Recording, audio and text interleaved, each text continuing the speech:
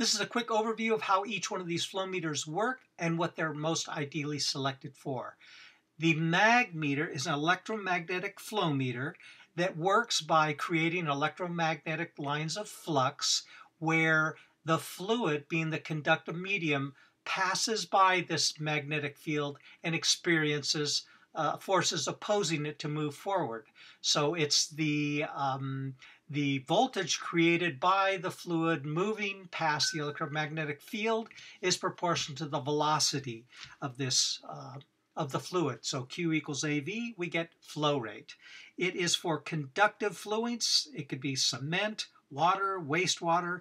It must be full. Its enemy is bubbles. And um, it's, it is proportional to the velocity of the moving fluid. The Coriolis flow meter is a mass flow meter. It's F equals omega cross X.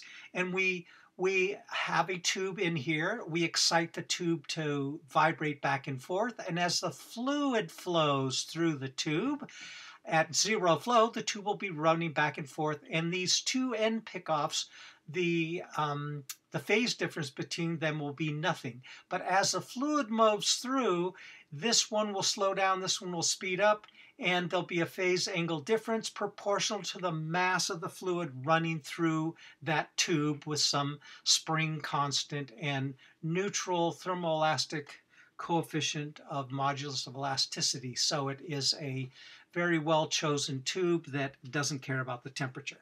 Enemy of a Coriolis flow meter is vibration um, because it's a vibrating machine. This is an ultrasonic. It's a time of flight between an upstream and a downstream sensor clamped on the outside of a pipe. And we measure, we send a, a pulse from one to the other and from the other to the other. If they're both the same, then there's no velocity in the, in the fluid.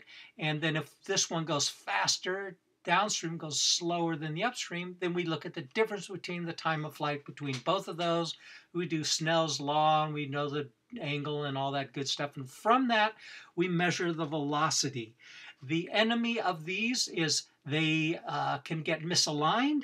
They don't like uh, rust buildup in the inside. They are a time domain machine. They're really nice a vortex meter. It's the von Karman vortex meter. It's a velocity measuring machine, whereas there's a bluff body in the fluid. And as the fluid moves past the bluff body, after the bluff body is a sensor that measures the von Karman vortex shedding frequency. That shedding frequency is directly proportional to the velocity.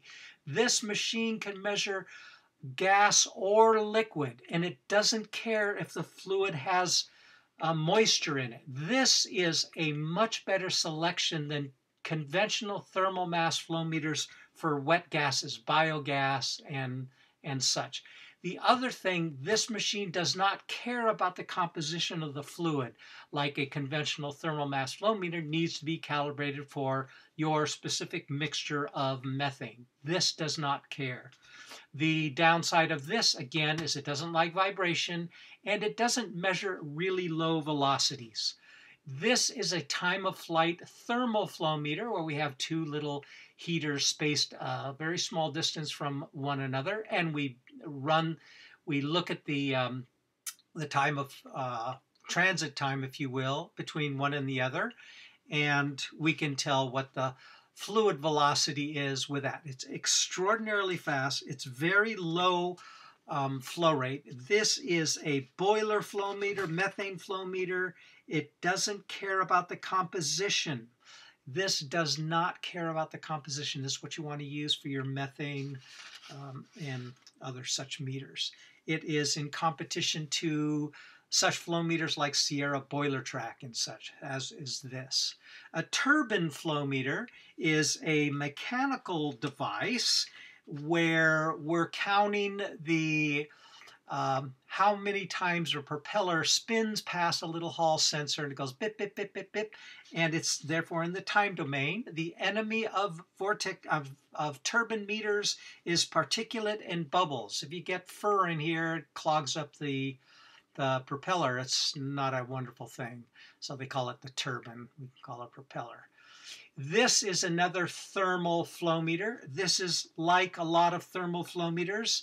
It's um, the the enemy of this flow meter is is corrosive fluids. This is a battery powered. It lasts for two years. Takes very little power. These three flow meters here are thermal flow meters, all using a LFE on the bottom and a very small channel on the top, working a lot like a lot of Sierra flow meters. This is an improvement on it. It is extraordinarily fast, very low power, and these are coming out in uh, more industrial uh, versions in, in some time. This is an inline ultrasonic. It uses the same engine as this uh, ultrasonic flow meter does. These ultrasonic transducers are mounted and this will work for deionized water. It's a time domain. Its enemy is bubbles.